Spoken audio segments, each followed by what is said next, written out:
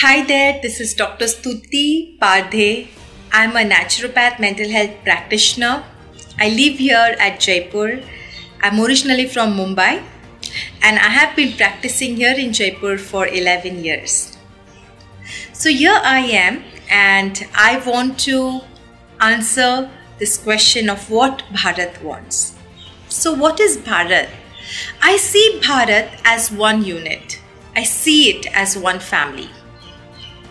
And this is a unique family which consists of different races, different languages, different cultures, and different faith. But yet we all are one. And as one, I feel as a family, we have to give that positive strength.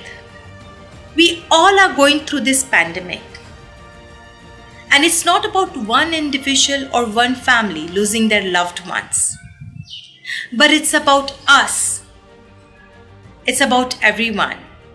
And it's about supporting each other and standing for each other during such such a roller coaster. Standing for each other gives a lot of positive energy and strength. And so let's let's act as one family. Let's leave aside our differences, be it political or be it religion. Let's come together for each other. Secondly, let's fulfill our responsibility as a good citizen. Let's follow the norms, the medical norms that the professionals have given, the guidelines, and let's do our best.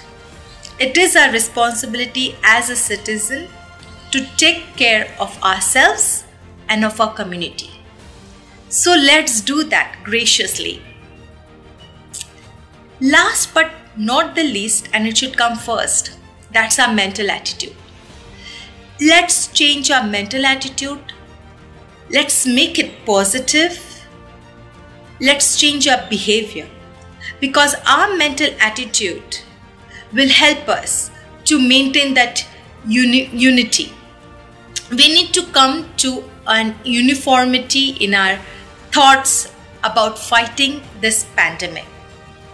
So let's do that. And by doing it, we will win this. We will be victorious. So, this is the message I wanted to give you and I wanted to encourage you. And thank you once again for listening.